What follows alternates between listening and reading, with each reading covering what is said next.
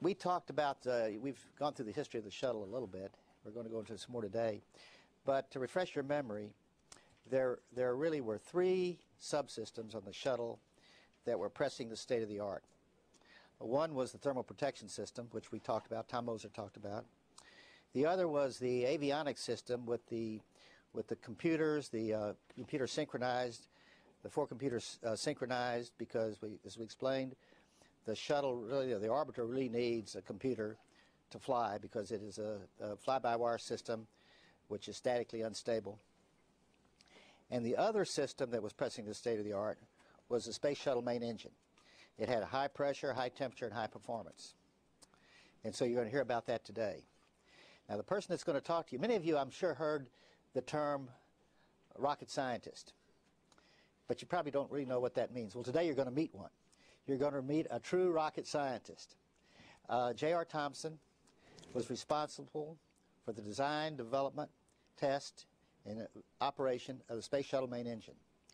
During Apollo, uh, JR had a very similar uh, function in the design and working on the uh, launch vehicle for the uh, Apollo vehicle. He became director of the Marshall Space Flight Center. Then he was deputy administrator of NASA in Washington. And now he's president of Orbital Sciences. You're in for a real treat, JR.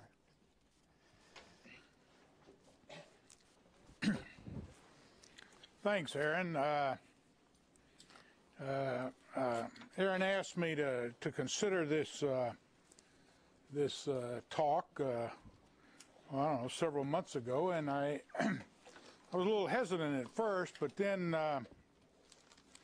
the more I thought about it, it's given me a good opportunity to go back and and you know kind of recount some of the some of the highlights and the low points uh, in the program. It was it was some 30 years ago for me. So there's there's some of this that that's going to be still a little fuzzy, but there's a lot of it, a lot of it, that it's just like it was yesterday.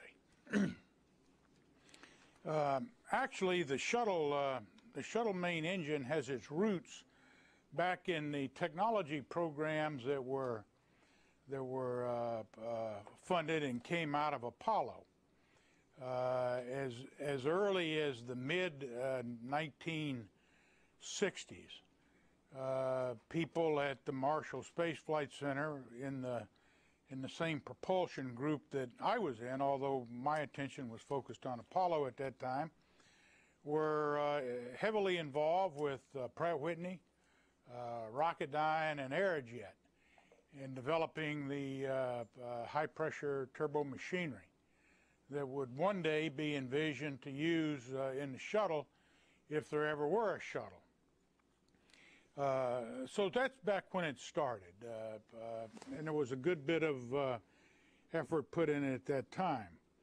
Um, I think, as you probably know, here Rocketdyne of North American won the contract uh, in July, uh, actually July 13th of 1971. So shortly after Apollo, Apollo was still was still winding down when the shuttle program got got its legs. Uh, and the shuttle main engine was one of the very early uh, uh, uh awards because, as Aaron indicated, it was early on envisioned that that would be the that would be the uh, here what we call back then the long tent pole in the program. Uh, it uh, came on the heels of a one-year uh, Phase B competition uh, between uh, Pratt, Rocketdyne, and Aerojet. during this Phase B, NASA funded some some technology demonstrations uh, requirements definition, uh, uh, and that kind of thing. actually, Rocketdyne at that time did a very bold demonstration of what they call powerhead, and I'll show you I'll show you what that encompassed in just a minute. But it was a demonstration of the heart of the engine. It was only only operated for a short period of time, but very high pressure. It was uh, uh, it was risky. Uh, they pulled it off, It was actually driven by a fellow called Paul uh, Castenholz, who was the uh, uh, uh, who was a guy coming out of Apollo that basically solved or led the team that solved the combustion instability on the F1 engine. So Paul was a very ambitious fellow, very aggressive, very um, and very bold in trying to capture this award uh, for Rocketdyne. At that time, though, NASA envisioned what they called a flyback booster. The shuttle main engine would be uh, was envisioned to be uh, uh, a common engine for the flyback booster as well as the orbiter. Uh, in that early concept, there would be 12 SSMEs on the back end of the flyback booster, operating at uh, 550,000 pounds of vacuum uh, thrust. Uh, and on the uh, orbiter uh, configuration, it was three engines operating at 632,000 pounds of thrust and vacuum. Because of the of the uh, money that was forecasted at that time and that, that had been appropriated to date, NASA was always behind the, the power curve in the early phases of the program, and they never got uh, uh, everything they wanted. And I'm sure that uh, Dale Myers and others that have uh, preceded me have have told you the the ins and outs of, of why then NASA scaled back from the flyback booster to the solid rocket motors.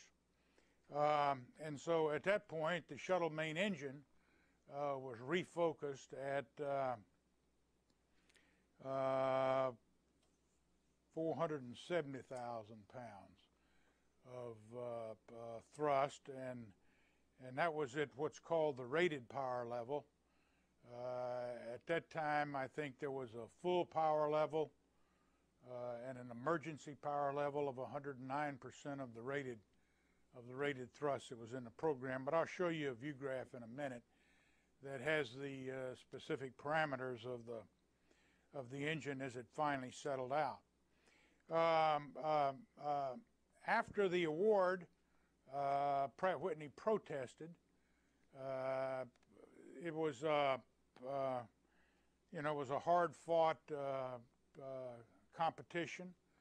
Uh, NASA had specified a, uh, a uh, that they wanted an engine bell configuration, a nozzle bell, as opposed to Rocketdyne's aerodynamic spike that they had promoted in the late 60s.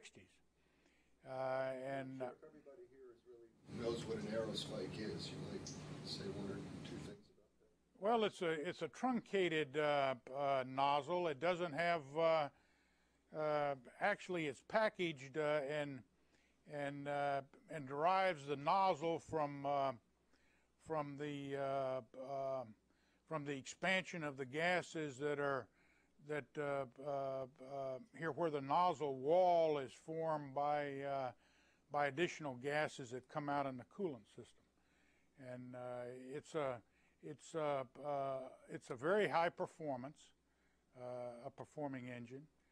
It's uh, um, uh, uh, its packaging is certainly an advantage where you don't need a a big boat tail, say like you would with the engine. So you're you're saving about 10 or 12 feet there, and the weight that goes along with that. Pratt Whitney uh, uh,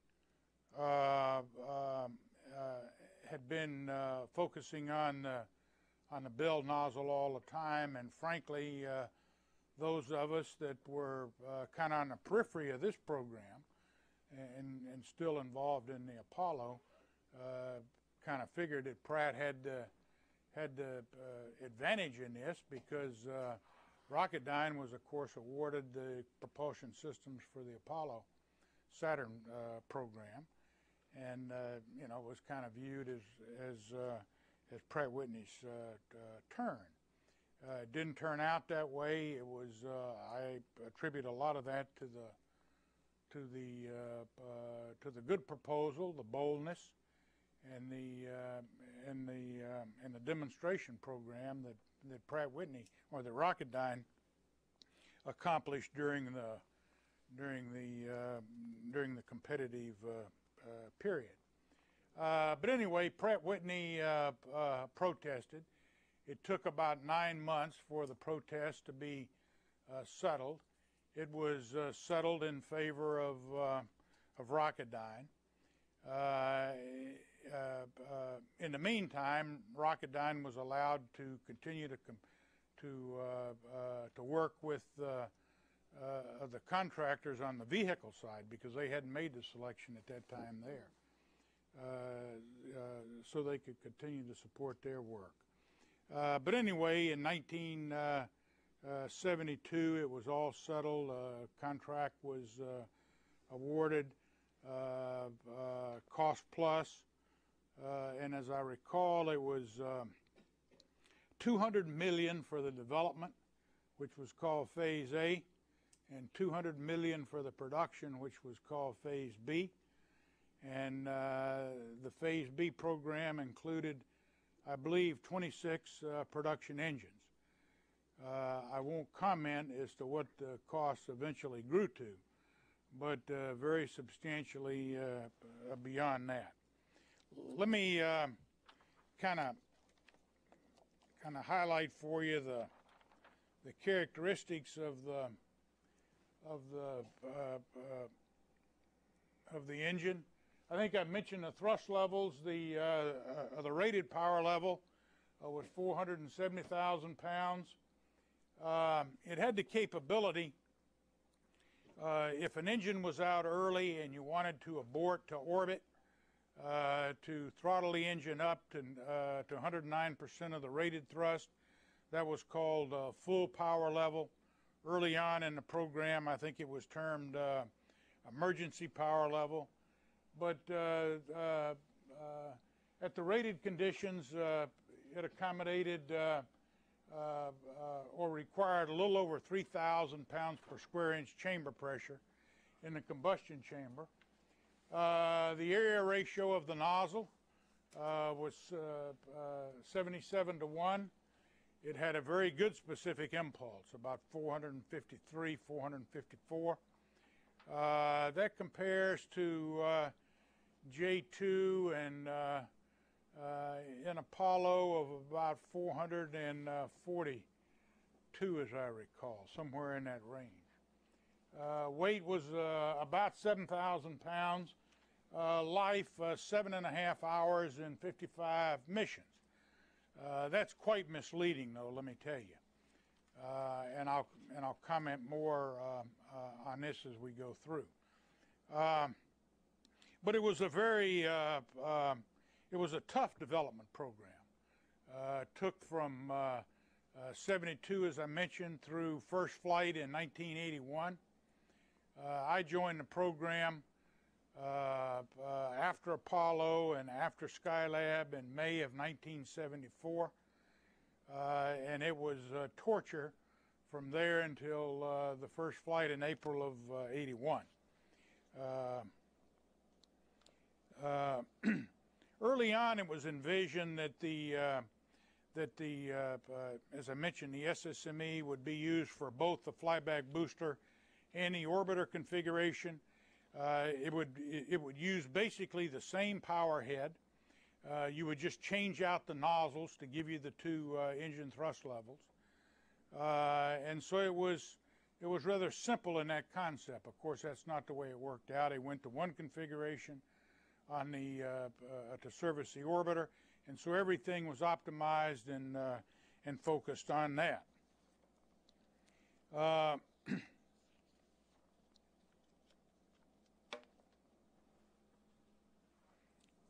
Now let me say a few words about uh, the uh, uh, the schematic itself and what the what the uh, uh, what the engine looked like in uh, in conceptual terms. It had a it had two low pressure pumps, which were required to give the proper inlet pressures to both high pressure pumps to avoid cavitation. it had the two high pressure pumps It was all fed through a common power head uh, to a thrust chamber uh, uh, uh, assembly and then into the nozzle. The here, starting on the fuel side, the the fuel pump increased the pressure to about uh, 300 pounds per square inch, uh, and then that went into the to the high pressure pump on the fuel side, where the pressure was boosted to a little over 6,000 pounds per square inch. About 80% of the fuel uh, all went to the two pre-burners, the fuel and the oxidizer pre-burner, uh, contrasted to about uh, 12% of the oxidizer. Uh, th- that was to uh, to provide a very fuel-rich uh, power system to drive the two turbines, the fuel high-pressure fuel pump turbine and the LOX pump turbine. Uh, the turbine temperatures were uh, in the range of uh, 1750 degrees uh, uh, uh, here Rankine. The after X. Made out of, Uh, almost all of the all of the housing structure uh, on the uh, uh, probably 80% of the engine was Inconel. Uh, very tough steel. Be able to take very high pressures. As I mentioned, the the combustion pressure in the chamber was about 3,000 pounds per square inch. Uh, at the entry to the pre-burners, uh, the, the pressure could get up to 8,000 pounds per square inch. So it was, uh, it was a very high pressure system up and down. It was all in series. In other words, there was no, and this, this, this was the way they achieved the high efficiency. All of the, all of the propellant uh, came through the low pressure system, the high pressure system, into the pre-burners, into through the cooling circuits, all in the hot gas manifold, all in the main chamber, all of it exited in the uh, the nozzle. None was dumped overboard uh, to simplify the uh, uh, the flow path. Um, uh, that part, uh, a good bit of the of the fuel at the exit of the of the high pressure pump went directly to feed the two pre-burners. A good bit of it, about 20% of it, went to cool the the nozzle, uh, then up and uh, up through and cool the uh, the uh, uh, here rather drove the the the turbine because it was it was here having cooled the nozzle, it was converted to a, a warm gas, which was then driven then drove the low pressure turbine, came back in and was captured and and served to cool the the shell of the hot gas manifold. Same similar thing on the uh, on the uh, uh, oxidizer side. By the way, I'll mention the speeds of the of the low pressure fuel pump was about 15,000 RPM. High pressure fuel pump about 35,000 RPM. Uh, the speed of the low pressure LOX pump was 5,000 RPM, and of the high pressure oxidizer pump about 30,000 RPM. Uh, the discharge of the low pressure LOX pump was about uh, 250 pounds per square inch. Uh, entered into a uh, uh, to the main LOX pump, where the pressure was elevated to 4,500 pounds per square inch. Uh, then it went to the some to the pre-burners and the rest directly into the into the into the main combustion chamber. Some part of the of the uh, of the LOX flow then was uh, was further boosted to about uh, a little over 8,000 pounds per square inch, which fed the oxidizer into the two pre-burners. So it was a very efficient cycle, very high pressure cycle. Um a couple other features that you don't see on this chart. Uh, there was a heat exchanger wrapped around the uh, uh, the high pressure oxidizer turbopump turbine, uh, which uh, served to preheat uh, uh, uh, gas to pressurize the uh, the oxidizer uh, uh, tank. Um, I think those are the major points that I would make on the uh, on the cycle itself. Um, uh, most of the problems I'll just point out here had very few problems with the uh, two low pressure pumps. Uh, uh, a lot of technology uh, in the high pressure pumps, both fuel and oxidizer.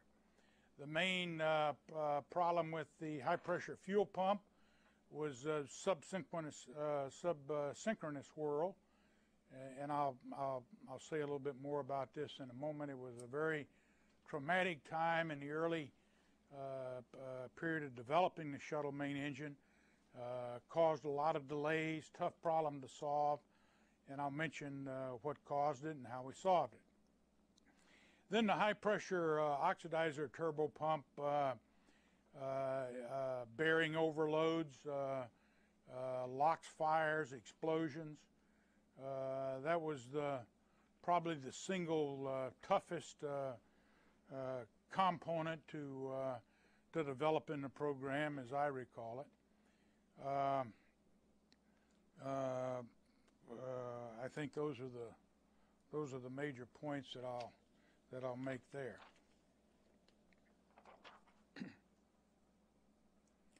Uh, early on, it was uh, it was planned uh, because they had such a head start in uh, in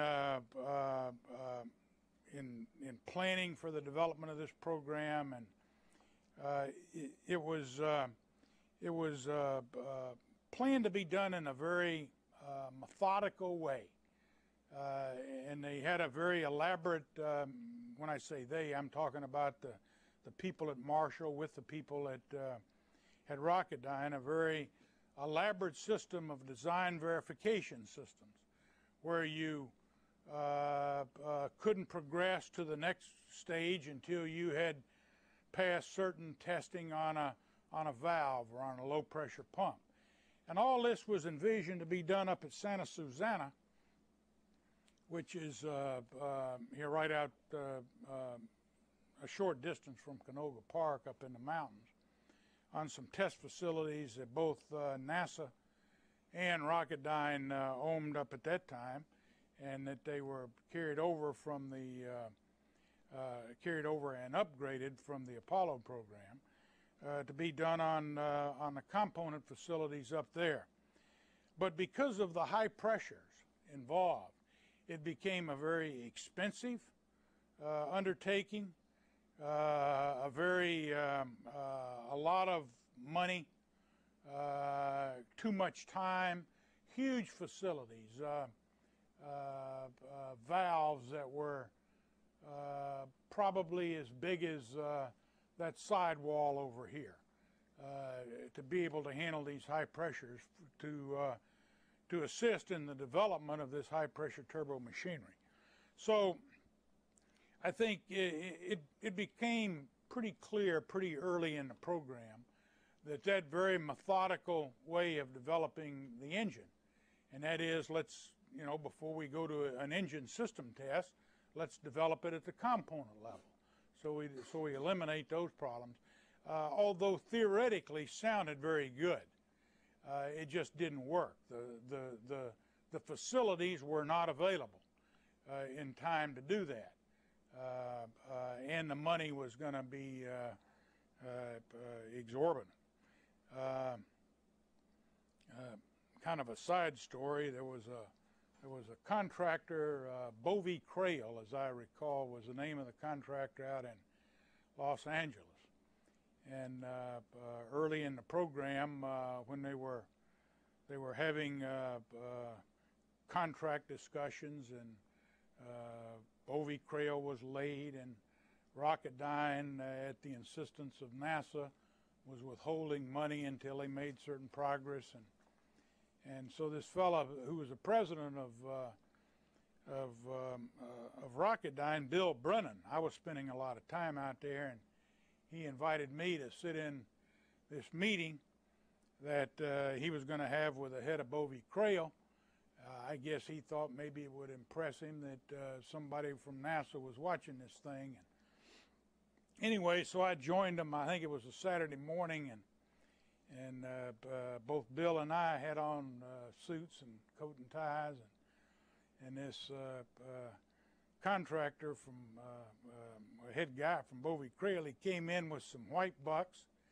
He had on some yellow pants and a pink shirt, and he he plopped down on on Bill's sofa there, and before Bill could could open his mouth, he he said, "All I want is my blankety blank money."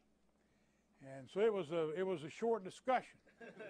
uh, he was uh, uh, he was there to collect his money, and uh, and uh, and Brennan couldn't uh, couldn't pay him because of, of the, some of the restrictions that NASA had. So so it was a it was a it was a messy deal trying to get those facilities built, and and it it became clear that we were going to have to do them, have to develop the components in parallel with the engine test. It was a it was the biggest systems engineering challenge that I think we had in the shuttle program. Uh, uh, certainly, there were a lot of challenges in, in major systems, integrating the the uh, uh, the shuttle engine into the orbiter, for example. But but down at the engine level, the systems engineering to develop those components, the two low pressure pumps, the two high pressure pumps, the pre-burners, the the hot gas manifold, the main injector, uh, all the control valves. Uh, and then we also had on the engine, which I didn't show on the schematic, uh, a computer, uh, redundant computers that were cross-strapped, so that uh, the input or the output could be uh, could be cross-strapped and be very tolerant to failure. Uh, uh, so he went to what we called an integrated subsystem test bed, ISTB.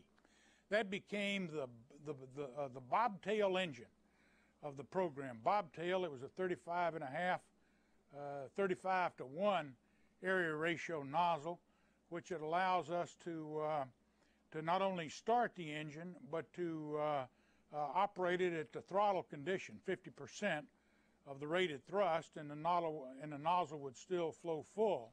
It would not separate. And so then we could proceed with the development of the testing or the development of the engine uh, uh, program. It was a very uh, uh, uh, uh, it was an efficient way to go about the program so we didn't stall. It was tough because we had to solve the engine problems in parallel with the component problems all at the same time. And sometimes it was hard to tell which was the problem. Um, uh, we started our uh, first test in May of 1975.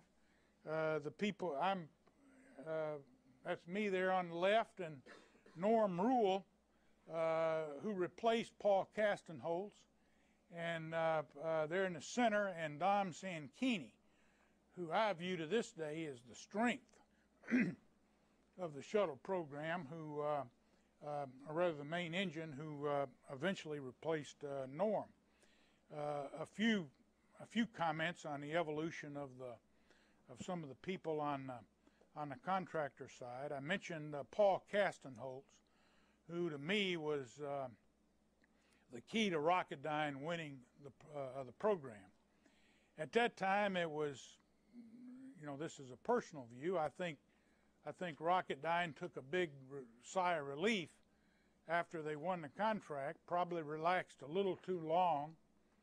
Got in trouble uh, uh, up at Santa Susana in not developing that uh, that component facility.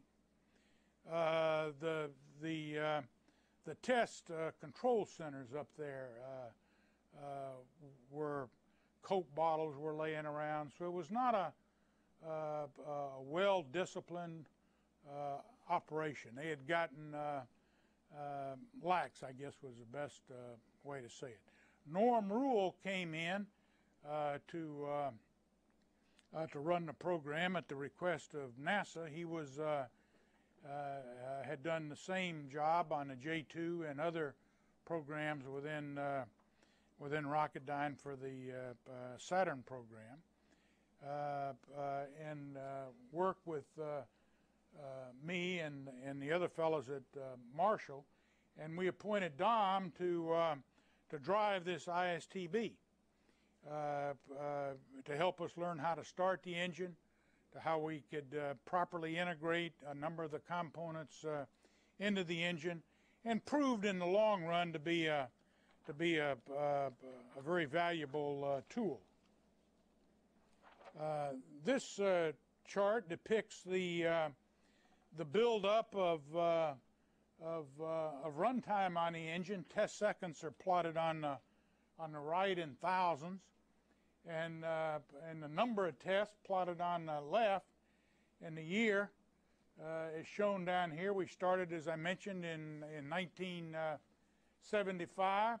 We fly, finally threw, uh, flew in April of 1981 on uh, uh, STS-1. Uh, uh, the title, uh, someone asked me a little earlier, that's First Manned Orbital Flight. Uh, that's what we referred to the to the uh, uh, to our goal back at that time. I've highlighted along the way some, I believe there are 14 major engine explosions, uh, all of which were very traumatic in, in themselves. I'll show you some pictures uh, shortly of what of what of what an engine looks like after it goes through that, and then you can extrapolate that to envision what was uh, in the boat tail of the orbiter had it occurred in flight, and what would it what what it would have done to the flight itself.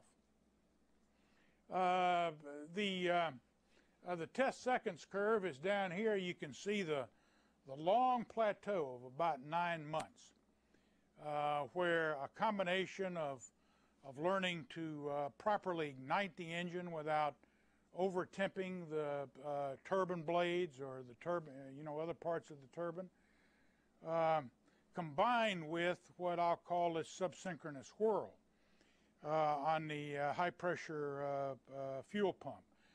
Subsynchronous whirl, um, there's a, a, a, very exotic definition of it, but, but it's an orbiting, an orbiting of the shaft within the bearings themselves uh, caused by the, a softening of that system. And you can imagine the softening is attributed to uh, overheating of the bearings. You don't have the stiffness. And so this allows the rotor to uh, orbit uh, there. Vibrations get very uh, high and, um, and we have to shut the engine down. we couldn't couldn't get into the test, but about 2.35 seconds was the nominal time uh, before we would encounter this very high vibration, and then have to shut the uh, shut the uh, uh engine down.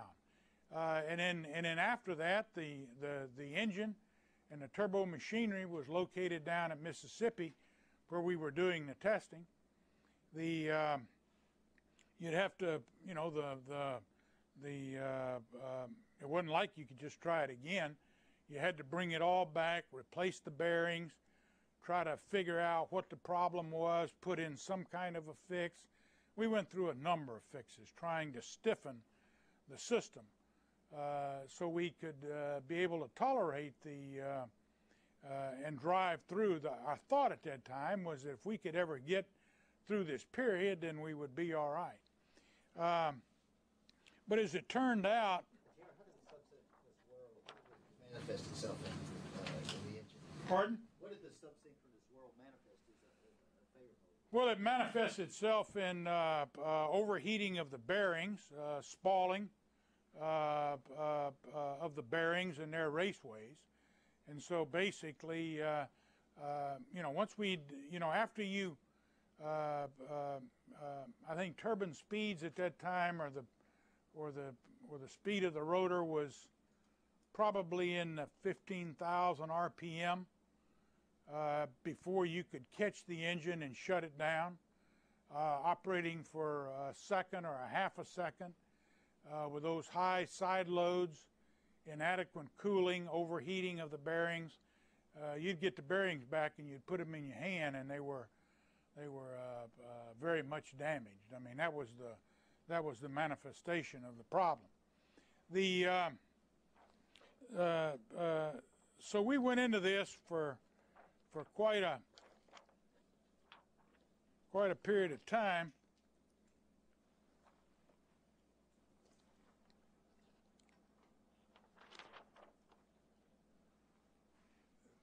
I think what I wanted to capture was the was the picture over here. Ignore this. This is more dramatic. I'll come back to that later. But this is the uh, this is the high uh, uh, the high pressure fuel turbo pump. The uh, subsynchronous whirl uh, uh, and the overheating of the bearings occurred on the turbine side. the the coolant path is probably going to be hard for you to see, but you come through some labyrinth seals here, go down this passage, up through the center of the shaft, and in through the through the uh, uh, through some provisions that were made to cool the bearings on a turbine on a turbine end. Um, we brought in a lot of external uh, consultants, uh, had a lot of cooperation from uh, from people across the country. Um, but after nine months, it was it was one of the internal guys at Rocketdyne, Joe Stanglin, who uh, uh, and some of the people in his turbo machinery group that came up with the idea that there was a vortex that was occurring in this cavity on the on the on a turbine end, and and uh, uh, and what we had to do was to kill that vortex, and then allow the coolant to go through. And so he he uh, uh he put a little what he called a paddle, which is this part you see right here. It's about the size of a dime, that was screwed in to the to the uh, uh, here to the rotor at that point. And uh, first test that we uh, after we included the paddle right off the block uh, where the engine had been stalled at and couldn't get beyond about 2.35 seconds, went right up to to the minimum power level, which is the uh, which is the power level we had set and, and planned planned all of the tests to accelerate to that level if, if it could, uh, you know, if we could make it.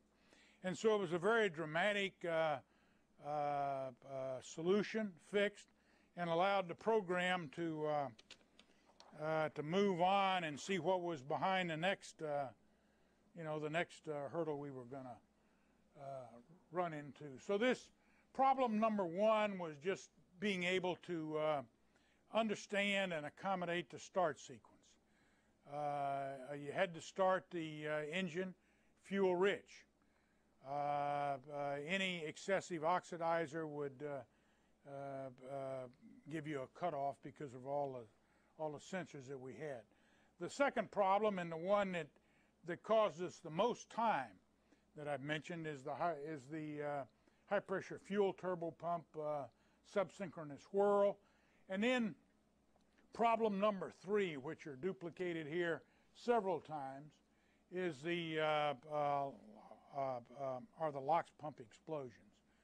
Uh, they could be uh, uh, triggered by loss of a turbine blade on the turbine end, which would unbalance the rotor, overload the bearings, and then cause a uh, a LOX-rich uh, fire which very quickly uh, consumed the whole engine. there were numerous, uh, well, three or I think three, three, uh, rather four highlighted there. Uh, we had some other problems. I, I've noted a, a fuel pre-burner burn through, just a structural burn through of the, the fuel pre-burner? Yes. How did you eventually solve that? Because the last failure you had was also um, the liquid oxygen explosion. So. Well, we, um, um, I'm not sure I can differentiate between the uh, between the LOX pump explosions, but the um, uh, late in the program, probably at that time, we uh, uh, uh, had been having for a long time uh, problems with the turbine blades, very limited life. Cracks would grow. Uh, at that time, we didn't really understand uh, what a, uh, you know, how long we could run them before we had to replace them. Uh, so we went to dampers uh, on the turbine blades. Uh, and this occurred fairly late in the program that, that eventually solved the, the, um, the vibration of the, of the blades within the, within the, the turbine wheel stack and, uh, uh, and allowed us to proceed. Whether that was that one that caused the imbalance of the rotor or, or some earlier when they were uh, pr- primarily driven by uh, bearing problems. Uh, considered for some time, we used ball bearings in the uh, in the Rocketdyne turbo machinery. Later in the program, they've gone to roller bearings. Pratt Whitney has has been contracted to develop that. Um, but uh, the bearing problems and turbine blades were the were the major uh, uh, problems, as I recall, that that caused the LOX pump uh, problems. Um, as a matter of fact, I've I've got.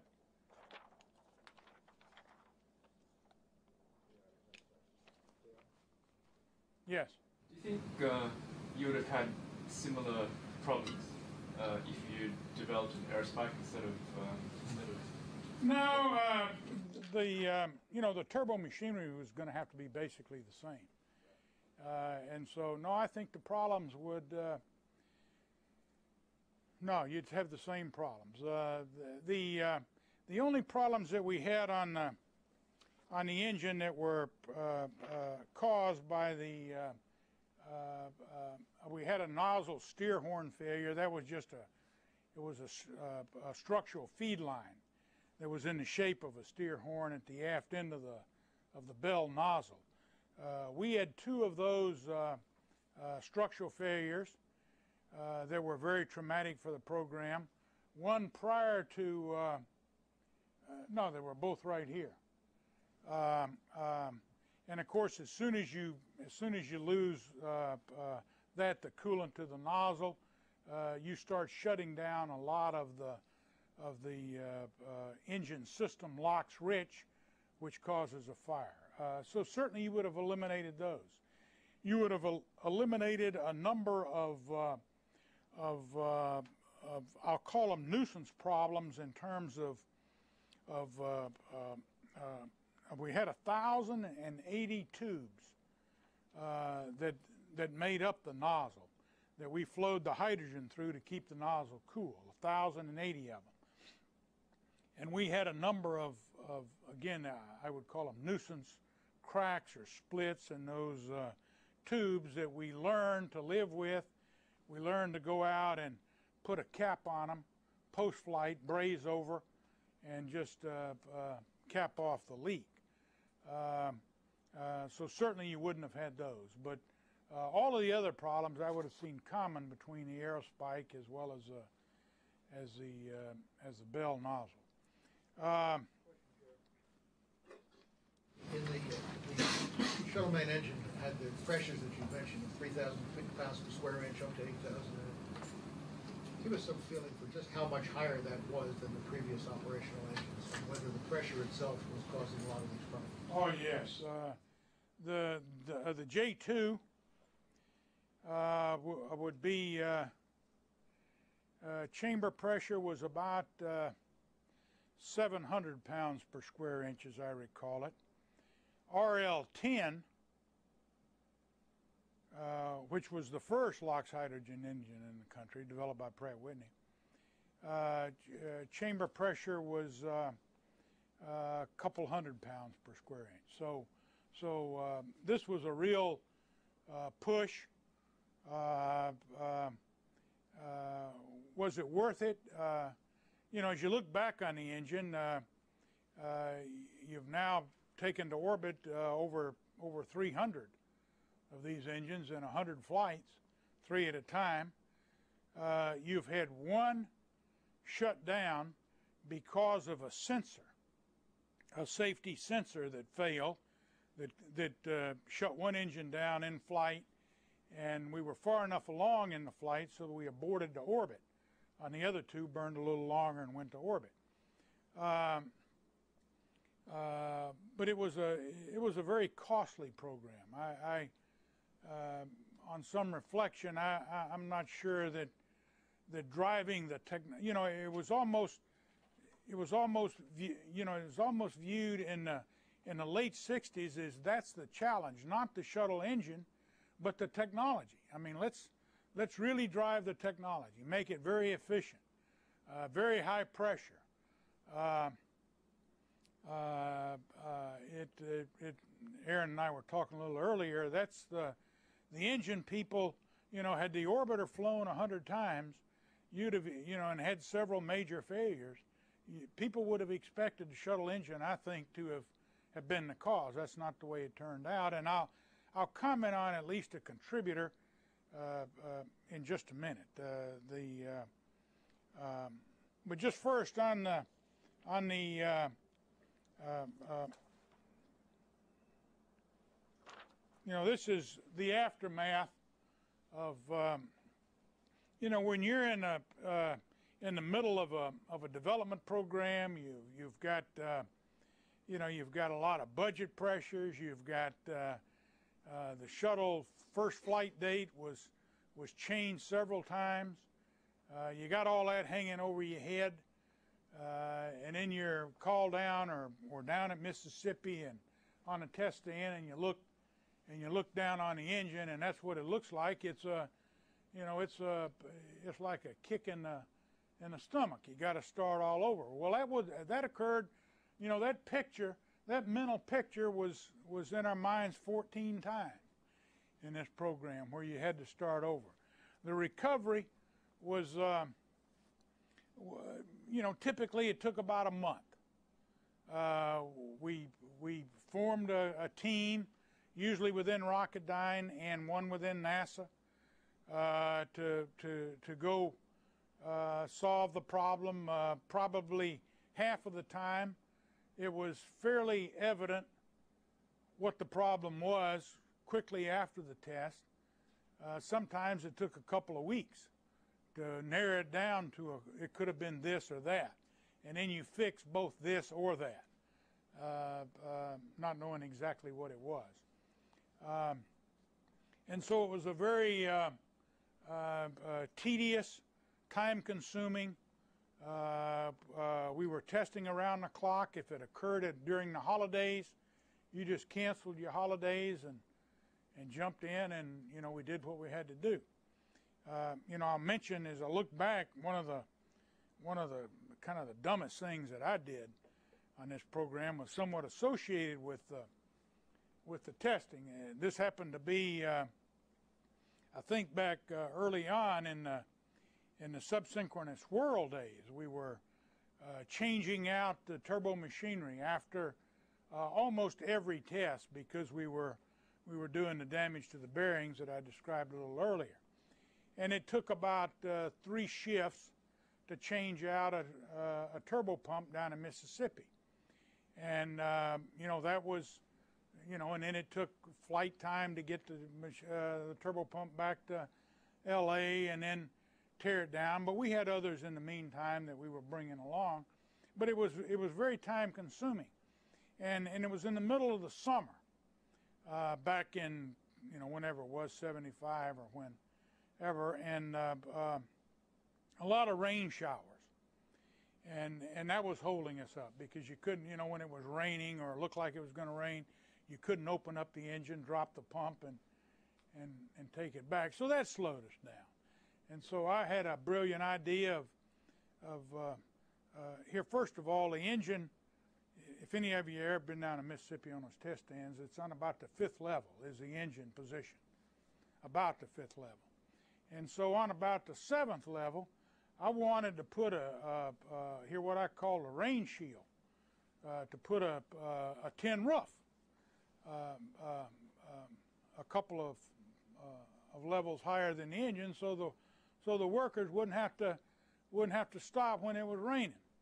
Well, you can probably imagine what happened.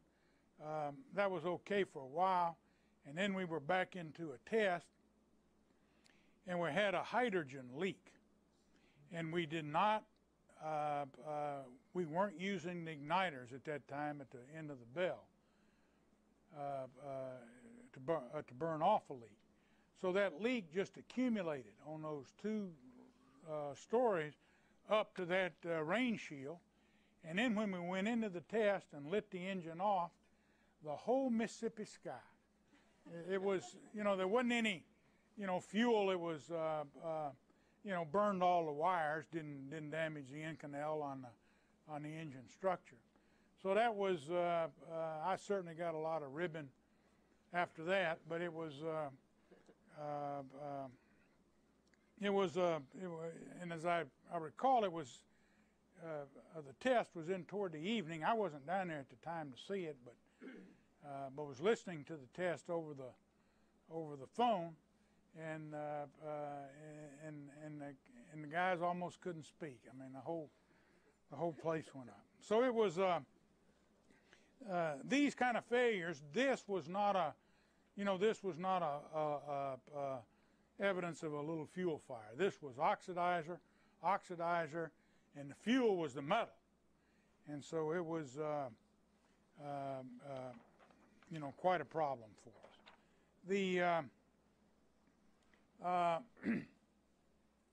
I might mention at this time that just this last summer, uh, I attended a little uh, a little event there in Huntsville, where the where, where the Rocketdyne team came down, and now the the engine program had just passed its millionth uh, test second mark, and so you can see uh, uh, for STS one, the total sec- test seconds were about 110,000.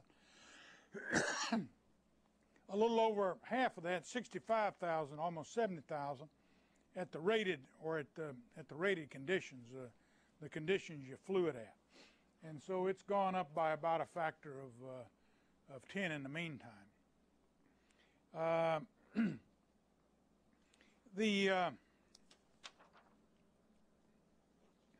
another key to the to the shuttle uh, uh, uh, engine program was was the the philosophy imparted by John Yardley to. Uh, uh, uh, I think he recognized early on that that the engine, the, you know, we'd bitten off probably a little bit more than we could chew.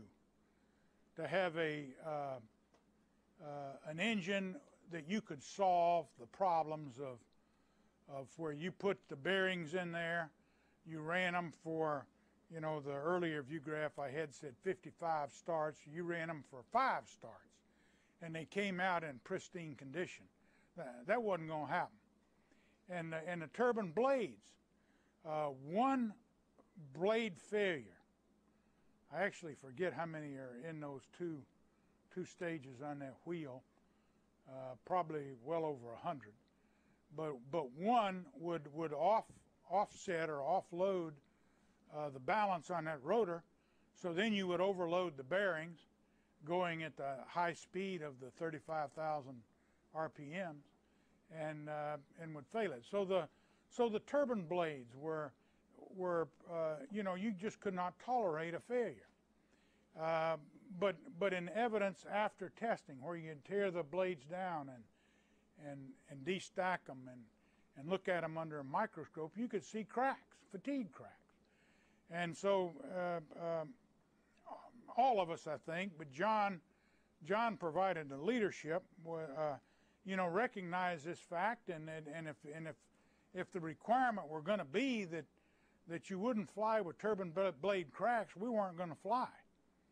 Um, and so he encouraged us in, in that uh, instance, in, in, bearings, and, and probably other areas to, to, to test a failure, uh, drive it to failure, know where the, you know, know where the cliff was, and then, and then back off a sufficient amount, and then, and then conduct your certification uh, uh, uh, uh with crack blades, with spall bearings, so that it was clear to everybody that that uh, you know it was clear to the people that were running the program that were that, that then had to, uh, and others that had to fly, that, uh, that the problem was, was understood, we thought reasonably well understood, and it was uh, uh, tested to accommodate that condition.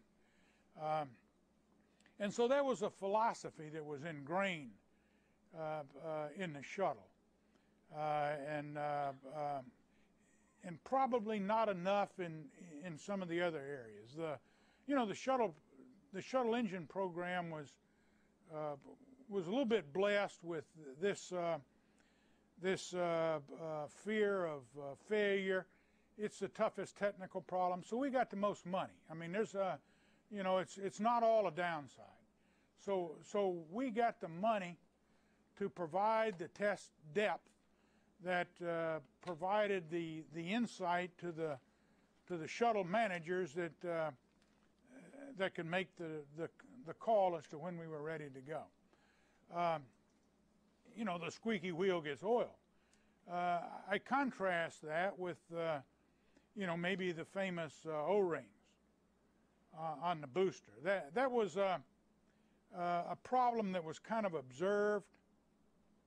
A few tests were run, but but not enough to, you know, not to failure. It it it wasn't tested to, ever tested to failure on the ground. It was tested so you could see that the O-rings were split, uh, maybe, but not to see, you know, to have to be staring at a picture like that as to as to what's going to happen when that O-ring gives and and and and very quickly can burn through. Uh, and I could, uh, you know, the other example I would make is uh, is a tank, and this is the most frustrating to me because uh, uh, early on we all saw some of that foam come off, but but not in the size pieces that that the shuttle program saw three flights before Columbia. I mean that was a that was a size that was a piece of foam about this size. It came straight down the vehicle. It made a small dent in the aft skirt of the solid rocket boosters that were subsequently recovered. But that should have been a that should have been a an eye opener that, that that that piece of foam doesn't always have to go straight down the uh, the side of that vehicle. It could it could it could get out in the slipstream and and hit a wing or something.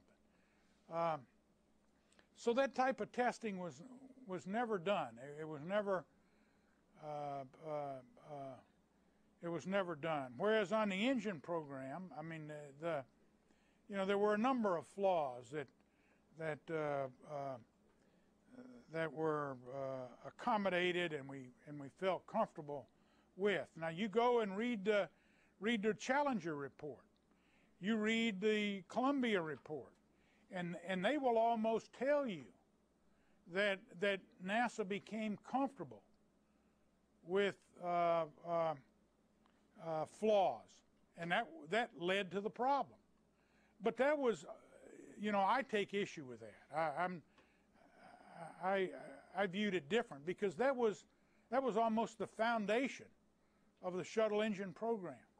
It was built on flaws. It was, it was built, it, it, it was, it was tested, so you knew where every, uh, wherever the soft spots were. Um,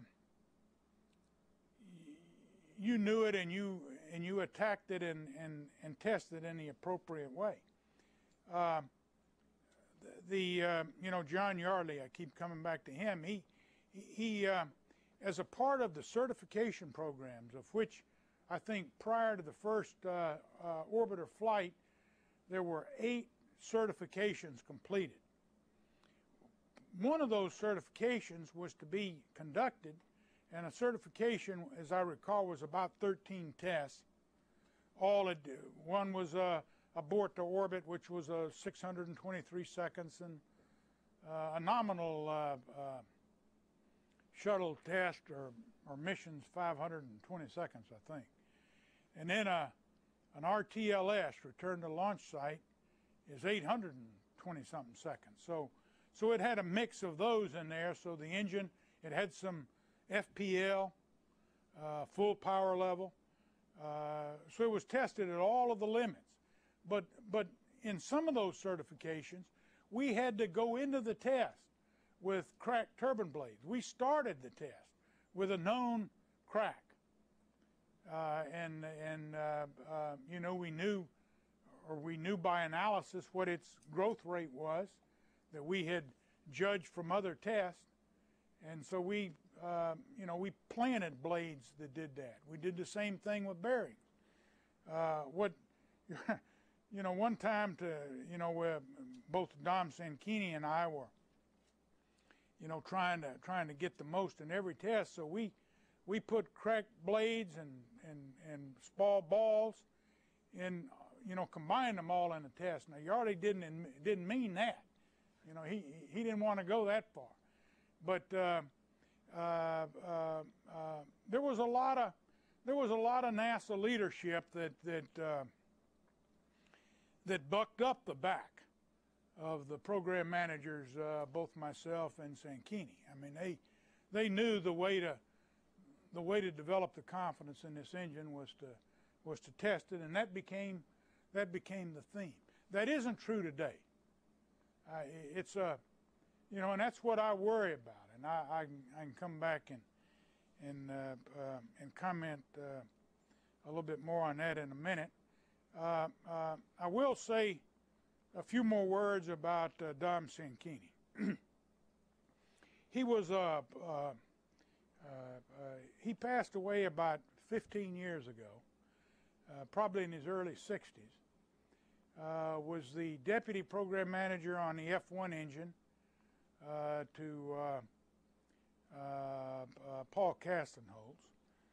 Uh, uh, a good engineer. He was a lawyer by trade, but he had also accumulated uh, a good background, well steeped in engineering. he uh, hard driver.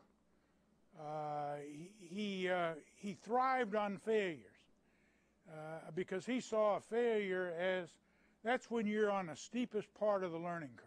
You never learn more than than than in the aftermath of a failure, where you're forced to go through and look at all of the data and and postulate, uh, uh, you know, a lot of other different failure modes. So he he almost well, he thrived on it. I mean, that was, uh, uh, you know, and he he uh, he made sure that the whole Rocketdyne team viewed it viewed it in that light. Uh, so he was a real strength, uh, uh, a real strength to the program. Um, I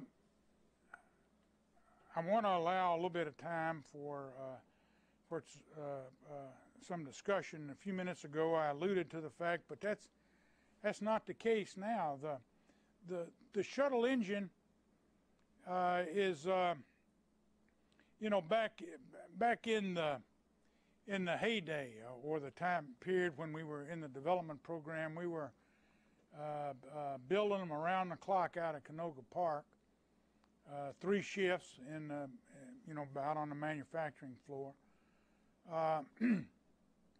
probably at a rate of about about one a month.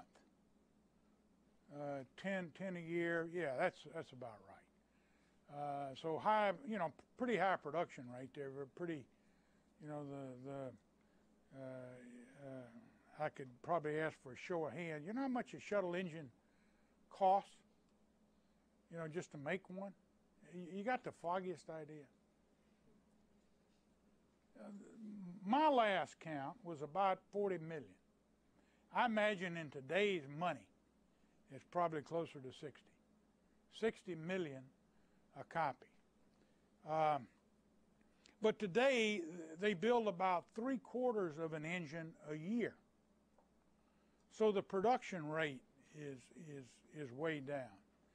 They, they, they, they test, you know, you know, aside from a lot of the uh, terrible consequence of the two hurricanes down down at Slidell.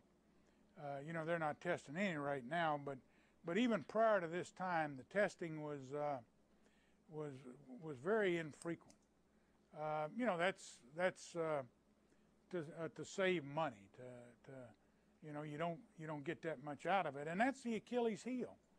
Uh, I view uh, of the of the shuttle program.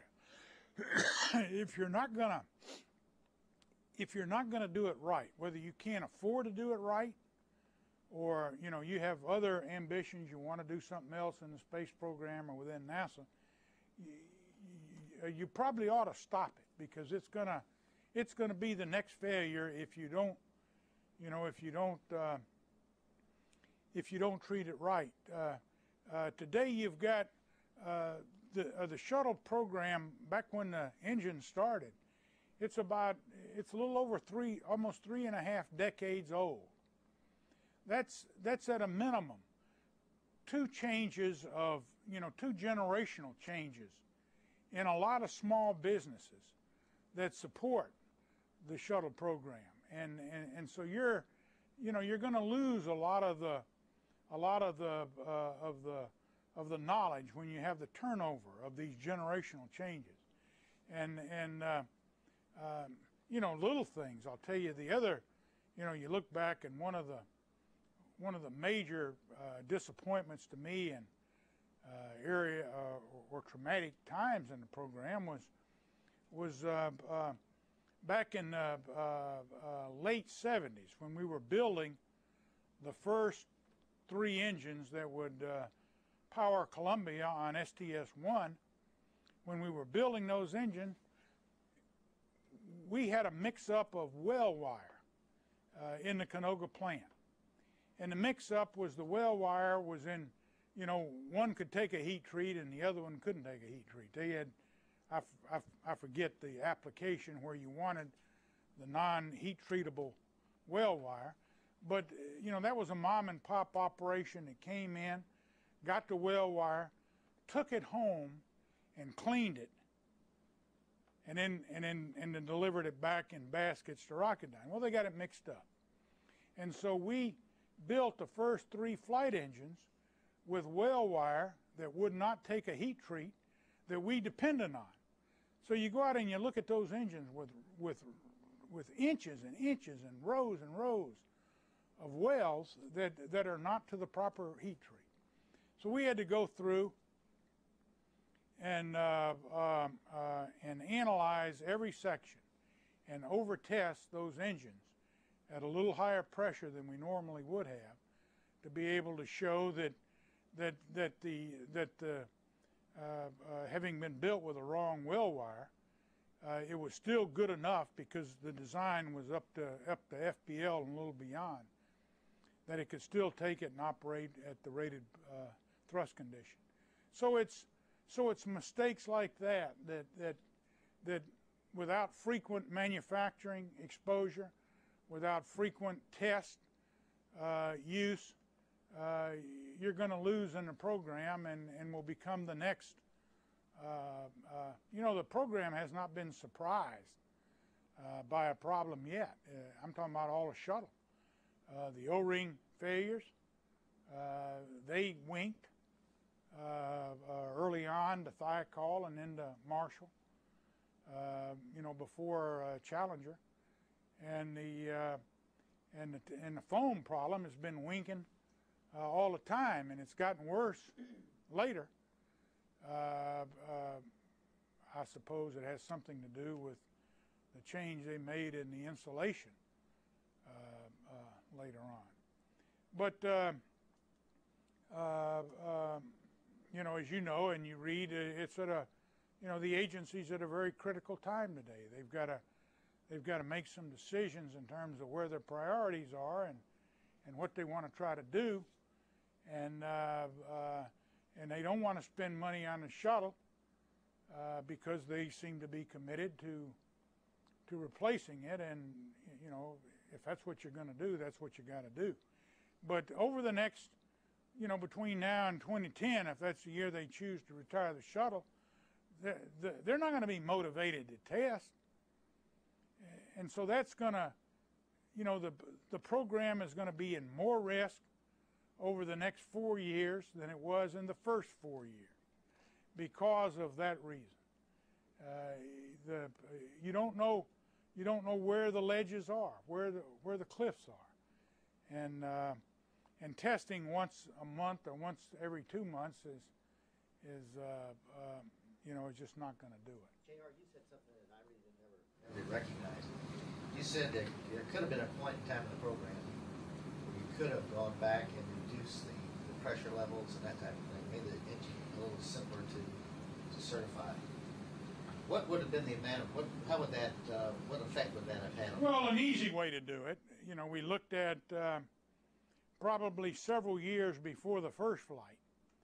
Uh, uh, uh, you know, we'd seen enough at that time to know that that uh, that, that that even with the philosophy that we had adopted, we were on fairly shaky ground.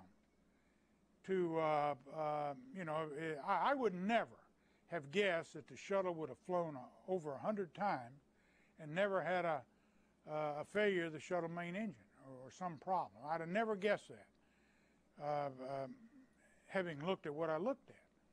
But, but uh, so we were starting to think, and an easy way to do it is open up the throat on the main combustion chamber. If you open up the throat, you relax the pressures up and down the turbine system, the pre-burners, the, the, the, the pump requirements, and you know, you wouldn't have to open it up much. You'd lose a little specific impulse. You'd gain a little in thrust. And, and, and so you'd get some offset there. Uh, may want to adjust the mixture ratio overall you operate at. Instead of 6.0, maybe 6.2. Uh, uh, so you could have done it with uh, uh, a modest performance hit. You're not going to get it for free. But you could have you could have relaxed the pressures throughout that whole system by a change in one component. Uh, and and and we were we were contemplating that, and and and the monies never came. You know, it was a it was a configuration change. It would, you know, there would there would there's a lot of of the, you know, you know what don't you know about that change is what would bother some people. Uh, uh, so I don't want to oversell it as simple, but it was conceptually it was a it was a simple change. So that would be the that would be one. The uh, uh, I think I think looking back, uh, uh, uh, you know, and knowing the capability of the shuttle, and and and and to be honest, uh, uh, being being somewhat troubled, quite a bit troubled, by what I hear and read about NASA wanting to retire it although I understand their reason.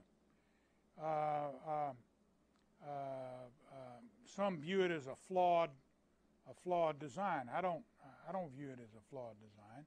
I think you need to, you need to relook at how you operate it. I, I don't, you know, I, I hadn't been particularly pleased with the operation of the shuttle. The, you know, the no, you know, watching all this foam fall off and not, not even raising your hand. Uh, uh, but then after all that occurred, they, they, nobody stopped and stripped all that foam off and maybe replaced it with cork that's heavier, that, that's got, you know, that's got some uh, uh, uh, tensile strength that, that you can, you, can anchor it on there with glue or whatever you want to do. And, and it's going to cost you some performance. So NASA's been biased too much and they certainly started this in the shuttle main engine in the direction of performance. Where if you back off a little bit, the system will be a lot better, a lot more robust, serve you a lot better uh, over the long haul, and uh, and and maybe you don't push too much in in some of these directions that have got us in trouble. Do you think that we had a uh, fictitious requirement of all the performance we were trying to achieve with the shuttle?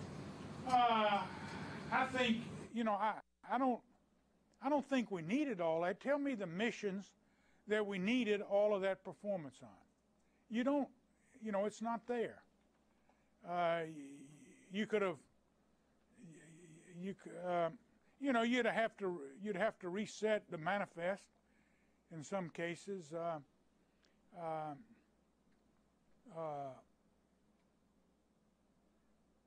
well, well, speaking for the one element that I know the most about, the the shuttle engine, uh, you don't you know, you you know, if you folks were to undertake a, a, a job to, to, okay, what would I do different? They're talking about using the shuttle engine uh, on this heavy lift launch vehicle for the for an upper stage cryogenic upper stage engine.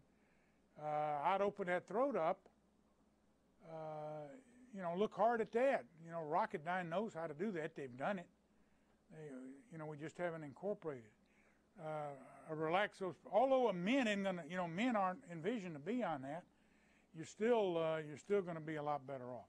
I tell you, a problem that you're going to have with, uh, um, with the, uh, with the vacuum start or at upper stage start is the uh, is that start sequence. This start sequence is very, very sensitive, and and you're probably going to have to go to Tullahoma to get in some kind of a vacuum system to demonstrate that. That's going to be expensive in itself. But but yes, I, I would, uh, uh, Aaron. I think probably across the board we uh, we we we set the bar higher than we higher than we really needed to. And it cost us in uh, in uh, uh, uh, money and and you know it, it's also cost us in in margin that we don't have that we that we wish we had. Uh, uh, Usually around this time, we take about a two-minute break, so okay. Give your, voice a rest. Everybody stand up, turn around, just stretch a bit. Two hours is a long time to, to go without a stretch. Ken? Um, I'm going to have to speak out before the end of your talk. Sure. Uh, I'll, I'll just say, give one, one statistic that, that I remember really impressed me when, uh, during, during our initial astronaut training, when they were talking about the main engine, and you talked a lot about the high pressure turbo pump. Um, this is a device that's about the size of a typical automobile engine, right? It produces 50,000 horsepower just just to pump the, the, the liquid oxygen at high pressure. I mean that that really gets your attention when you know when you talk about pushing the state of the art and trying to get a lot of power out of a, a small volume. That that just really amazed me. here I, uh, you know, as, as was indicated, I think I'd like to uh, to uh, uh, here just make a couple more remarks and then maybe open it up for some discussion and in terms of points that I haven't co- covered that are on your mind or, or other questions that you'd like to ask. Uh, just kind of in summary, if I look back on the program, I think there were there were uh, there were two main keys to that were paramount to the success that the shuttle engine uh, uh, enjoyed and is enjoying through its track record today. One was a decision to use the to use this ISTB to get away from the from the serial serial component test and then the systems test to try to combine it and and do a systems engineering job on a thing from day one. In other words, you know that was that was key to me. It it uh, uh, you know might have been a little extra pain, but saved a lot of time and a lot of money. And I'm not sure we could have done it the other way uh, uh anyway. And the other one, which may be a little bit more important, but but but just as important, and that was uh, uh, the the philosophy in the program of of of, of test to failure. Know where the failures are, and certainly if you look at that earlier chart, we had plenty of data points. I mean, you you, you know we had we'd encountered uh, a number of them, so, some of them three or four times. So so you know maybe in some cases we were slow learners, but there were there were a number of uh, uh, uh, you know there, w- there wasn't just one problem with that high pressure LOX turbo pump. The um, I think I'd be remiss if I didn't if I didn't acknowledge uh, uh, some of the people as viewed from the engine that uh, that made major contributions to the to the shuttle, not just the engine now, but the shuttle. In the Rocketdyne, I've mentioned Dom Sanchini a couple of times. Bob Biggs, uh, who- who's been there since day one and, and has done all of the all of the test planning and is a, and is a key. He is the systems engineer on uh, uh, on the SSME. Byron Wood, who is now the president at uh, at Rocketdyne. Joe Stangeland, uh, who was in charge of turbo machinery, who who who designed this little paddle and solved this vortex problem that that uh, uh, uncoupled us from from from this terrible time that we here we're at a standstill. Matt Eck, who was in charge of uh, turbo machinery uh, at Rocketdyne before he passed on several years ago. And then within NASA, uh, I mentioned John Yardley. Uh, he was, uh, who is now uh, passed on as well. He, he was, I don't think there would be a shuttle uh, without John's leadership. uh, Bob Thompson, who, uh, who uh, you might get an opportunity to hear a little bit later, I think he was a driving force in the shuttle. Uh, Bob Lindstrom, who was my boss for some time, Chris Kraft, uh, who I uh, understand you'll hear or have heard, uh, uh, certainly Aaron. We had to, to interface with the orbiter, and he had uh, an equal challenge. Uh, Arnie Aldrich, who I've always thought uh, a lot of, as well as Dick Kohrs. And then I'll mention uh, uh, Bill Lucas, who was uh, uh, the director at Marshall, and George Hardy, uh, both of whom got caught up in a later controversy on uh, Challenger. Uh, not necessarily fair, but uh, uh, that's life. I mean, uh, they were both superb engineers and, uh, uh, and meant a lot. And then also Gene Covert uh, uh from MIT, who, who was the, uh, uh, how shall I say this, came in periodically and, and chastised us appropriately and, and uh, uh, I think made a major contribution to the program. At the time, Gene was also head of the aeroastro department here at MIT and running back and forth. Yeah, John John Yardley uh, uh, had asked. I'm not sure who triggered bringing Gene in, but I know John was was uh, uh, uh, a key driver in that. And so that's. I'm not sure I've touched on the kind of things you'd be interested in, but but uh, I'll certainly be glad now to to try to answer uh, uh, uh, areas that perhaps I haven't hit, or or maybe make a few broader uh, uh, comments. I understand the only element that, other than the orbiter and maybe the overall system, but this is the only propulsion element that's that's talked about. I think the tank I've I've already mentioned there. The insulation was their tough nut, and I, I think you know having had some data, there are certainly some things that that we could have done different. Uh, the solid rocket boosters are are uh, uh, uh, they have made a you know there's there's quite a history there. Uh, you know, Thiokol has now been uh, acquired by ATK uh, in consolidation of the solid rocket motor industry. But uh, uh, they've also made major improvements in the way they manufacture uh, uh, that. Uh, you know, those solid rocket motors are also made with glue. A lot of, you know, that's, that's put on by hand. I remember in, up there after the Challenger accident, uh, back when I was the director at Marshall, uh, uh, a number of changes were made to automate a lot of that. I think uh, probably the solid rocket boosters, when when properly used and and and appropriately tested with with and backed up by the right analysis, is um, um, you know, it's a it's an excellent propulsion system. I wouldn't.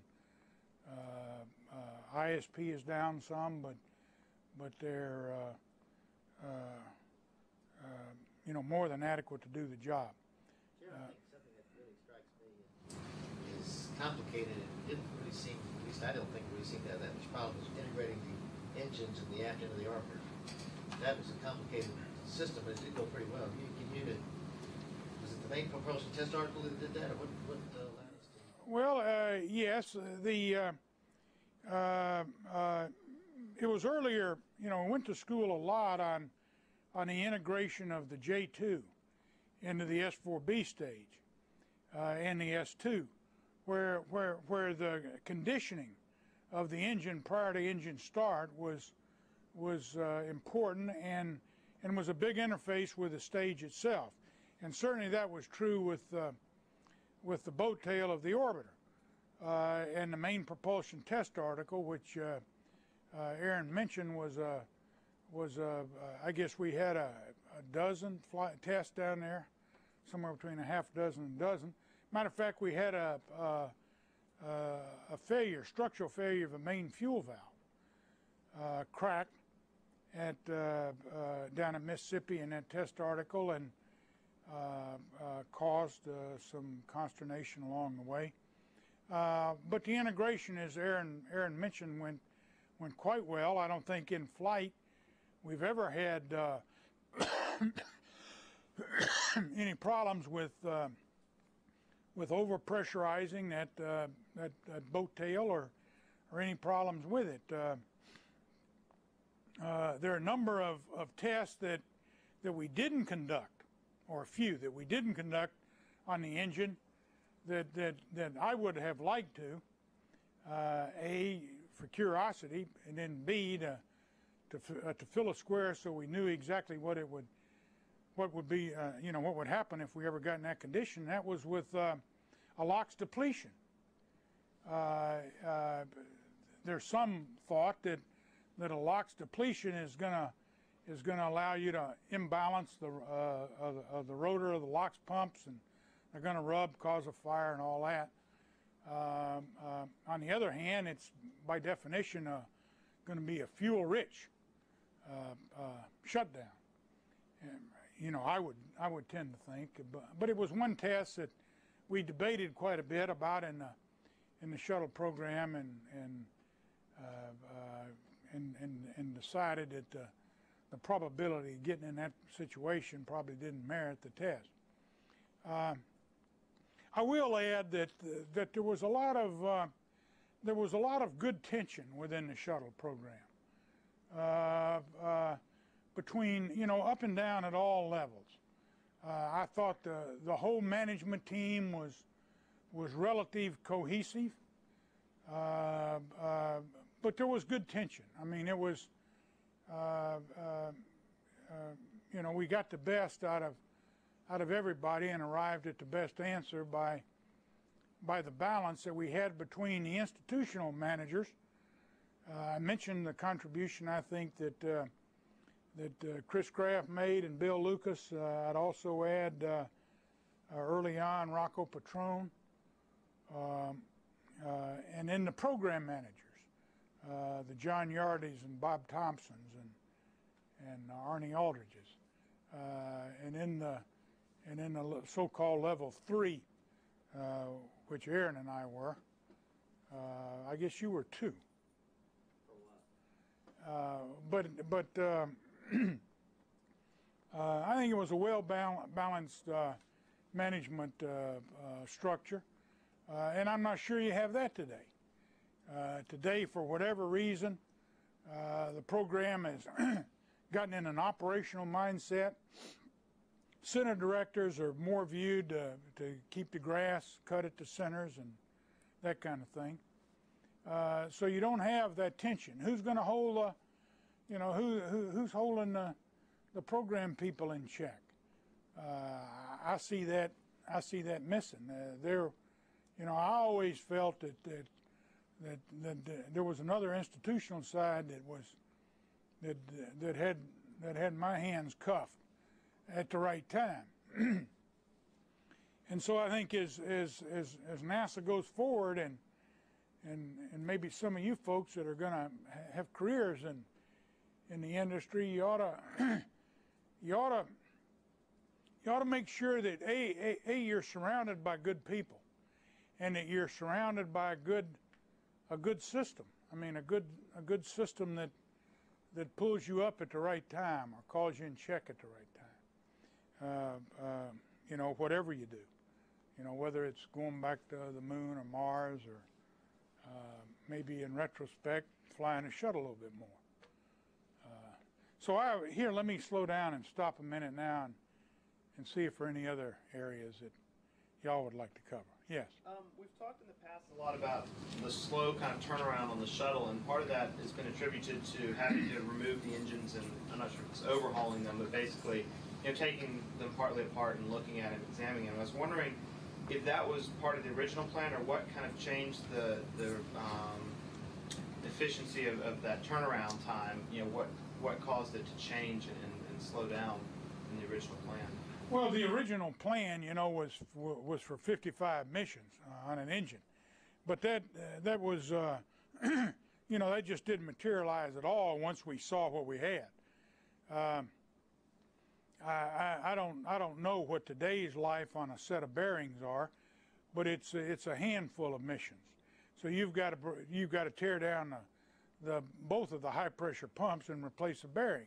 Same on turbine blades you've got to you want to replace that stack uh, after a few missions that are defined in the current certification program. I, you know, it's it's probably it's certainly less than a half a dozen, and and yes, that has built in the time, but you could you could overcome that by just dropping the whole engine and replacing it with another one and and uh, um, you know and doing it all in parallel.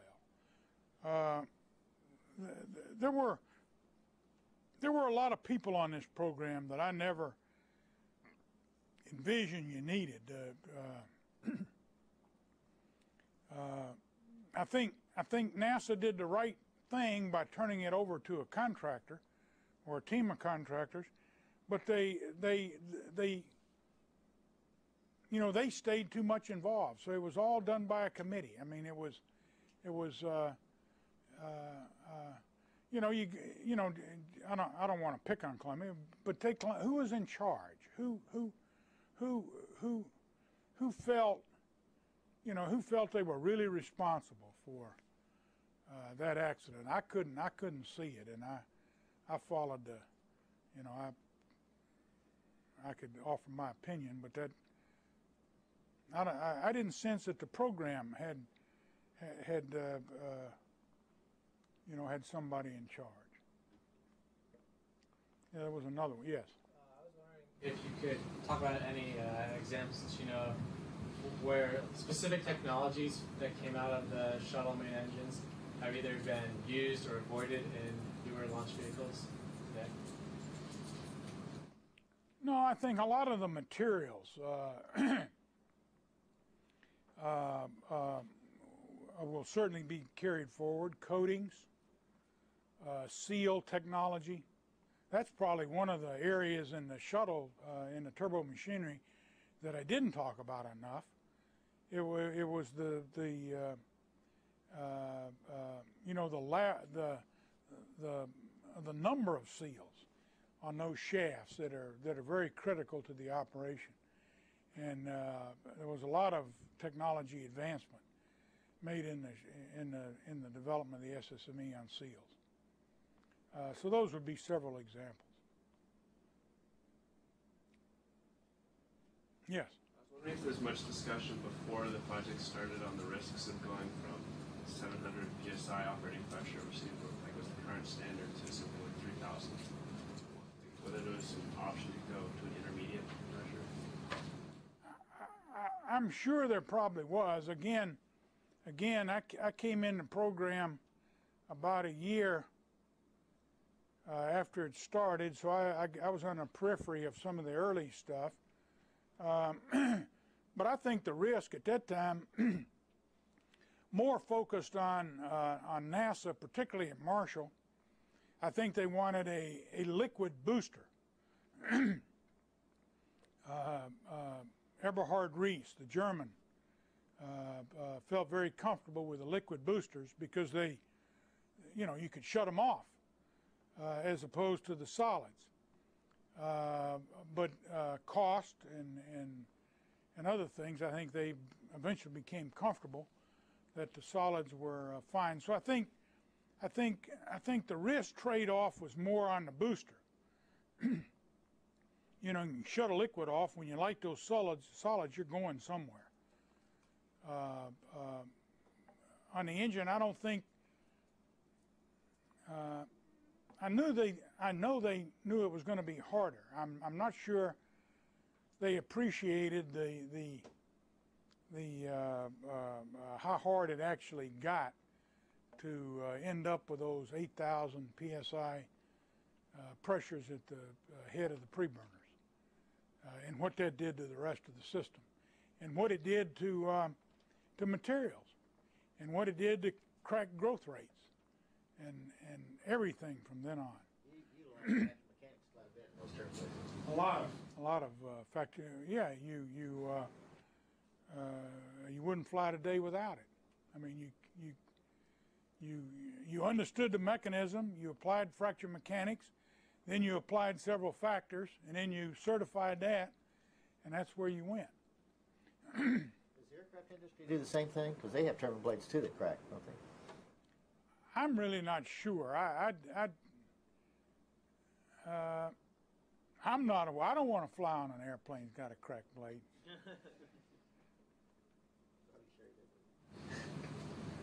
JR, you talked about um, the lack of testing nowadays compared to at the beginning of the program. To what extent does the fact that, I mean, after every flight, they take the engines out and they bore scope them, they look at that. I mean, does that to some extent constitute continual testing? No, I don't. I don't think. you what you get out of the well, test I think they're probably uh, you know the today's teams they you know they go to the logbook and they read what was written down by the last generation and that's what they inspect. That, that that's fine, and that's very thorough. But the testing, you, you know, the introduction of a of a of some kind of a small change by a mom and pop operation that I alluded to earlier. Th that's what a test program will catch. Uh, some some new problem that creeps in uh, uh, uh will get caught that's not done there. No, I don't think that. Uh, I, I I think it's you know. Let me say it another way. I believe it is very dangerous to execute this program in the way that I understand is planned to be executed between now and when they retire the shuttle. I think that's the most dangerous period in the life of the shuttle because of that. I mean, uh, the, the people that are in the program now have not been part of developing it. They don't, you know, they, uh, uh, I don't know how many pictures they've seen of, um, of a LOX pump that's burned up, that, that, that uh, uh, you know, you just think about things different once you've been exposed to that firsthand. That's my view of it. now, how you how you transition from what how you transition out of a shuttle program onto something new, I, I don't have that answer. I mean, I think you gotta I think you got to do both. You know, like the wing walker. I, I wouldn't let loose of, of a shuttle before I had something else in hand. And, and today they're going to let loose of this and then hope this other thing comes along. And I think there's some risk to that. um, along the, that line with the, the O-ring issue and the foam issue, do you think that those were never solved or never looked at because of lack of money or just confidence in the technology at the time? I mean, the O-ring was kind of carried over a little bit. The foam, I don't know how much that was. And nowadays, are we just relying on the confidence these things work for 100 missions or so? Or is it just lack of money? No, I think, uh, I, I can't say there was a lack of money back at the time of the O-ring. Had they wanted to, had the, had the culture been to, uh, had the culture been and, and, and, and if they were inquisitive enough to pursue it, I think they could have gotten the money to do it.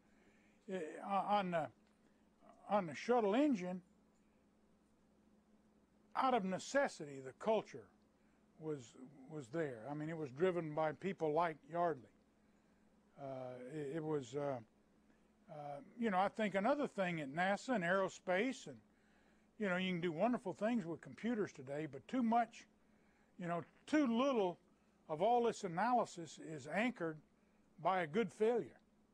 You know, you don't, you know, you got the analysis. Uh, uh, you, you know, you got a lot of programs. You can, you know, you can do a heck of a job on analysis today, but it's not necessarily anchored in in uh, in the remnants of a good failure, one that one that has uh, uh, adequate data. So if I'm building a test bed now, how do I kind of intelligently justify to my sponsors that I want to have a budget for like uh, lots of failures? Well, I, I, I don't think you're going to sell it that way. Right. but but uh, well, let me, you know, uh, you know, I think it's got to, you know, I, I think your sponsor, whoever, has got to have a good appreciation of how how far you're going to be pushing the technology. Uh, if it's oversold, uh, you know, if you oversell it, then you're not going to get the money to be able to, to stand those. Uh, uh, if you if you push too hard in that direction, your sponsor is probably going to get disinterested. Uh, so that's going to be a fine line, but but you know pick a pick a current example. pick what what what I at least as I understand it, NASA's trying to do with with the uh, uh, you know with the lunar project or the moon project. Uh, uh I for one, I for one think that uh, that their yardstick is going to be tough. Uh, they're, they're going to. You know, Apollo didn't have any failures. Why? Why are you going to have any failures? so I think I think they're going to have to be very careful how they sell that program. Uh, just because they're using or will use shuttle-derived elements, an external tank, a uh, uh, maybe a five or, or an additional segment to the to the solid motors, the SSME. Uh, that's not going to be a freebie. I mean, I mean, uh, uh, I've already told you I, I, would do some things to the shuttle main engine in, in building an, an, a different program. The tank, I, I would I, I, would I would go to a uh, uh, you know they're not going to keep the foam from coming off on the configuration that they have, and I also wouldn't wouldn't assume that well I don't have a problem now because I don't have an orbiter on the side of it.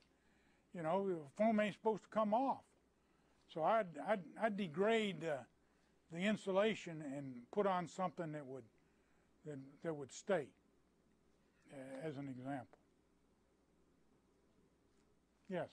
How much of the original engine, like the current engine right now, is it exactly the same as the original one, or what has changed? Materials, is the computer the same? Is everything exactly the same?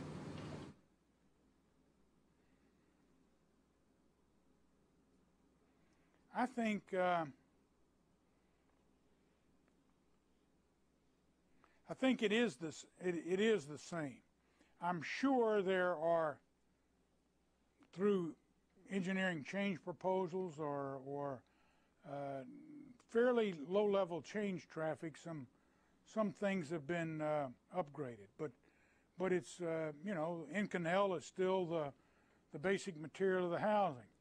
Um, uh, the uh, turbine blades are still MAR-M 246. Uh, uh, uh, you know, which is a high-strength copper, I think. Um, so that's the same thing. They they still use ball bearings when they fly, and I don't know the change point on this, but Pratt Whitney makes the, the high pressure turbo pumps now. They they use uh, roller bearings, and uh, uh, you know that's a that would be a big change. Uh, the two high pressure pumps uh, that have now been incorporated in the shuttle engine. But uh, other areas, the The turbo pump, the high pressure turbo pump. yeah, I, I, I at some point a couple years ago, I think they were they were incorporated and brought in. So those would be big part number changes. but a lot of other areas of the engine, I think it's the same, and and I think it's you know that's that's one of the reasons that they feel they don't need to test much. They've they've got all that, and uh, so we'll have to see how the next four or five years play out. Anything else? You know, if, since they're talking about using a lot of these with the next generation vehicle, and they and they won't be reusable. So what what can be done? I mean, what's the way to go about kind of derating the shuttle? Not you talked about opening the throat, but all the other things that make the engine reusable and presumably make it more expensive. It can will it really be the same engine when, when they get finished? Mean, what what what ha- what has to be done? What I don't know. I mean, I mean, some may uh,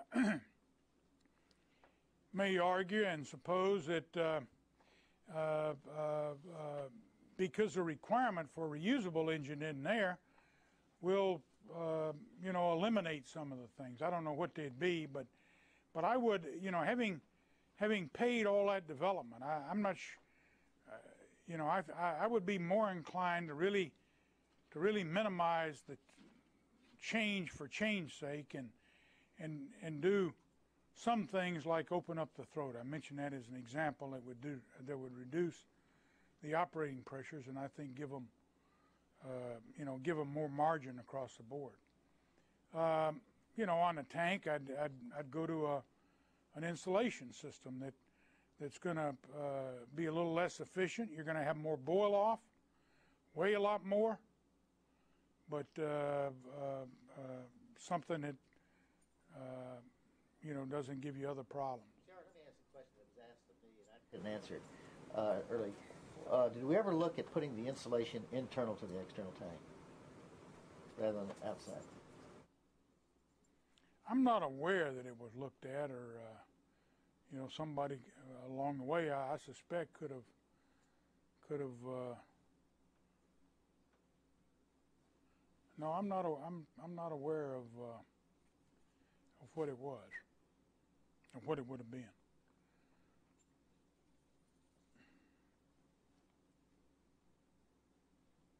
Anything else?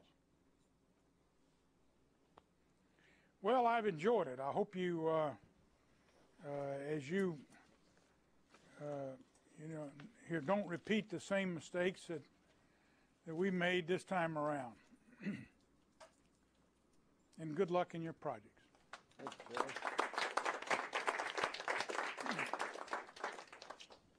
I'm going to just take the last three minutes. Um, referred to the fact that, that we only had one engine shut down in the whole history of the, uh, of the program, um, and that was due to a sensor.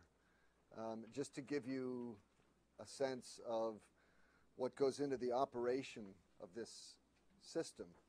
Um, it, it was always recognized that uh, you know you have sensors looking at the temperatures and, and, and the idea is that if anything starts to go wrong with the engine, you want to shut it down now before the thing blows up because we can we can lose one engine and and have an intact abort but if the engine blows up and takes the whole boat tail with it you're not going to get back. So generally you fly with uh, there's a little switch in the cockpit which enables the ability of the sensors to shut down the engines and you fly with that on. But the problem is if you lose one engine uh, and you get into an abort mode, now, at least for the first part of, of that abort mode, if, if you lose a second engine, now with only one engine remaining, you can't, you can't complete an intact abort. So what the crew does, if you lose an engine, you you take that switch and you put and you disable the automatic shutdown. Well, what happened was they they were uh, a few minutes into the launch. Um, the uh, the um, the sensor uh, started to uh, to go off scale. Uh, the engine was shut down, but they were far enough into the launch that they can actually do an abort to orbit. They took the engine switch to disable, normal procedure. Uh, when they got a little further along, so that they were in what they would would be able, uh, you know, a, little further on. I forget the exact details, but they were they, they took the switch back to enable. Um, but what one of the what the, the main engine flight controller on the ground noticed that the sensor in one of the other engines was also starting to go off scale, and if that was allowed, they would uh, it would basically uh, take down a second engine. That would have put them in a single engine, what we would have called an intact transatlantic abort, but by that time they were too far to, uh, to land in the normal abort site, and they would have ended up landing somewhere in Africa, I think, in the dark. I mean, it, it would have been a really bad situation. Um, and so the flight controller was, was sharp enough uh, to, to tell the flight director, uh, you know, we've got another bad sensor, tell the crew to uh, take the switch to inhibit. Um, luckily, the, the flight director had had some, his background was in uh, the propulsion system. He knew exactly what the, the flight controller was talking about. They called it up to the crew, they took it, and, and so this, the second engine did not shut down, and in fact, they, they made it into orbit and they managed to complete the mission. But you know, these are decisions which have to be made in split seconds. In fact, the flight controller who who made that call was given a, a special award and uh, from from NASA. And uh, you really have to know these systems inside out, and, and that's of course why why we have so many simulations where they they run those sorts of failure cases so that people are able to make these decisions uh, very quickly in real time, and that basically. Um, saved the shuttle and the crew from a potentially a really, really bad situation. Yeah. Is the, is the burn done by the main engines? No, no, no, no. They're done by the OMS. Now, once once the uh, once the main engines shut down, um, they are, uh, you know, you you've dropped the tank, so you don't have any more propellant.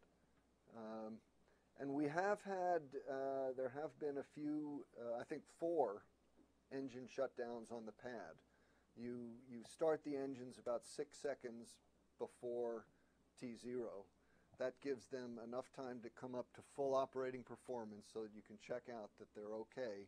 It also gives the, remember we talked about the twang because of the asymmetric thrust, the, gives you enough time for the orbiter to, to tilt forward and then come back. And then when you're vertical, that's when you fire the, the engines. I've, I've got some pictures of this. At, at, at one class, I'll, I'll show you some slow motion pictures of the launch. You can see all that. We've had four pad shutdowns. Of those, two were due to real problems with the engine and two were due to instrumentation problems. So, you know, it's always a problem of how much do you, how much instrumentation do you put in, how much do you trust it, and I know Aaron's made the point on several occasions of if you put an abort system in for the crew, you know, is that going to be triggered automatically um, or does it have to be manual? You certainly don't want to get shot off the end of a good working rocket just because your sensors have, have told you that something wrong is happening. So there's, there's a lot of interesting uh, engineering decisions to be made uh, with that. Okay, end of class. We'll see you on Thursday. And thanks again to JR.